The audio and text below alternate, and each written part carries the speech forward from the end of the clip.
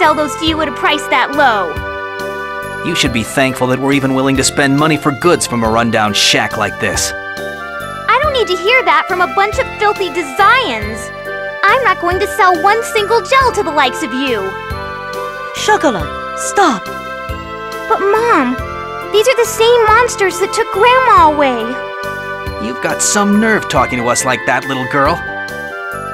You keep that up, and we can't guarantee what'll happen to you or the city.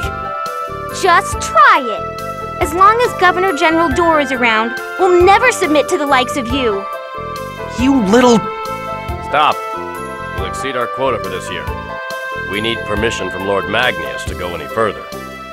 Huh. Depending on Lord Magnus's mood, you might or might not get to keep that pretty little head of yours.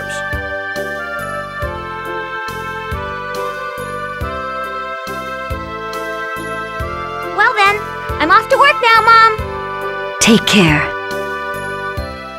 I apologize for what happened. I'm sure you were startled. Please, relax and take a look around.